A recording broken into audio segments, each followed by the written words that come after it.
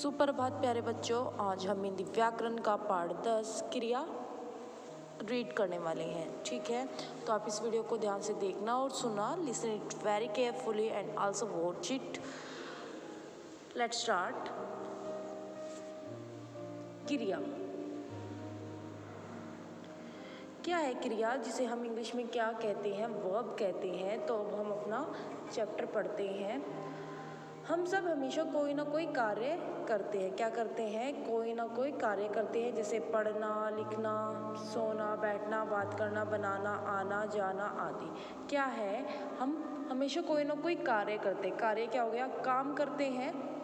जैसे हम पढ़ते भी हैं, लिखते भी हैं, रात को सोते हैं, बैठते हैं, आपस में बातचीत करते हैं, कुछ बनाते हैं लाइक खाना बनाते हैं, या कुछ भी वेस्ट मटेरियल से बनाते हैं, कहीं आते हैं, जाते हैं। यानी कि आना, जाने आदि, ये कार्य ही क्रिया कहलाते हैं। क्या है? ये जो काम है, वो क्या कहते हैं? क्रिया कहलाते हैं। बच्चों, नीचे दिए गए चित्रों को देखिए तथा उनके साथ लिखे वाक्यों को ध्यान से पढ़िए। क्या करना है आपको? जो नीचे पिक्चर्स दी हुई हैं, उनको ध्यान से देखना है और वाक्यों को ध्यान से पढ़ना है। क्या है? Look at the picture picture में देखो क्या है? एक बच्चा है स्कूल जा रहा है। यानी कि मैं जाता हूँ। क्या है? मैं जाता हूँ। रेड से लिखा हुआ है ना कि जाता हूँ। ये राजू है, वो क्या खा रहा है? आम खा रहा है। क्या खा रहा है? आम खा रहा है। यानी कि राज, राजू आम खाता है। ऐसे ही शीतल लिखती है। ये लड़की क्या है? इसका नाम क्या है? शीतल। और वो क्या कर रही है? लिख रही है तो यानी कि लिखती है। मोहिनी किताब पढ़ती है। जो मोहिनी है, वो क्या कर रही है? किताब पढ़ रही है। मोहित सो रहा है। मोहित सो रहा है और मैं खाना बना रही हूँ। ये लेडी क्या कह रही है कि मैं खाना बना रही हूँ। ठीक है? फिर क्या है? इन वाक्यों में क्रमश जाता है, खाता है, लिखती है, पढ़ती है, सो रहा है, बना रही हूँ। शब्द क्या है? क्रियाएँ हैं। शब्द क्या है?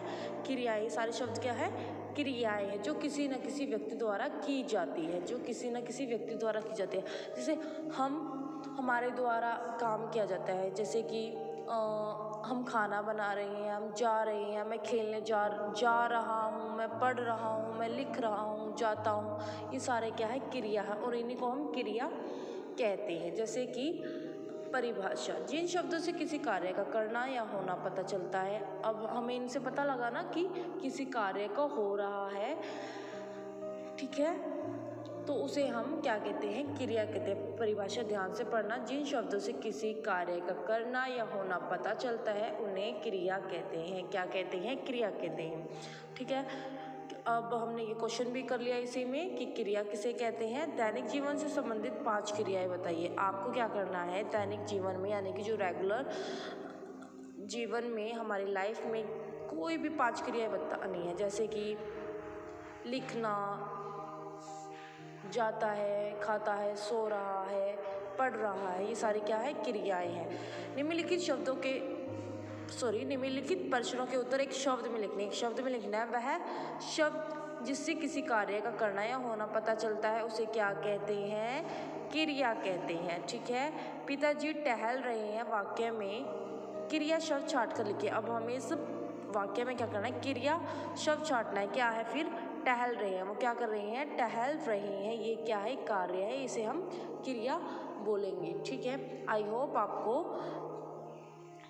क्रिया का पाठ अच्छे से समझ में आया होगा। ठीक है? तो आप इस वीडियो को ध्यान से देखना और सुनना और इस चैप्टर को अच्छे से रीड करना। Okay that is sufficient for today thank you and have a nice day